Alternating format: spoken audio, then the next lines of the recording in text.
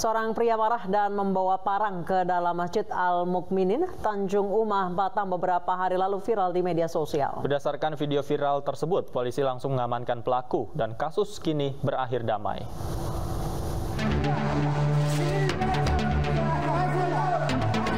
Inilah video saat Nizar, warga kampung tua Tanjung Uma, Kecamatan Lubuk Baja, Batam, mendatangi remaja masjid yang sedang membangunkan warga untuk sahur di Masjid Al-Mukminin. Nizar datang sambil membawa sebilah parang dan mengacungkannya pada remaja yang sedang berkumpul. Aksinya dipicu karena kesal mendengar suara teriakan sahur dari masjid. Sempat terjadi cekcok namun bisa diredam warga yang terbangun mendengar keributan di sekitar masjid. Namun karena aksinya, seorang remaja masjid terluka akibat sabetan senjata tajam.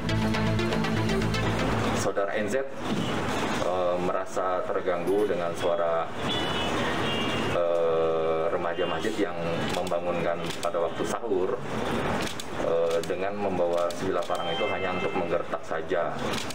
Uh, dan saudara NZ ini perlu diketahui juga memang selama ini tidak ada masalah dan beliaunya juga seorang muslim.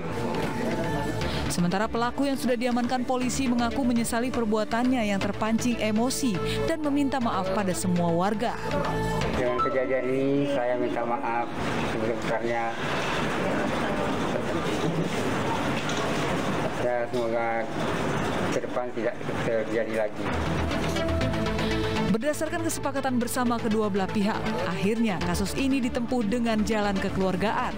Dari Batam, Kepulauan Riau, Gusti Yenosa, iNews melaporkan.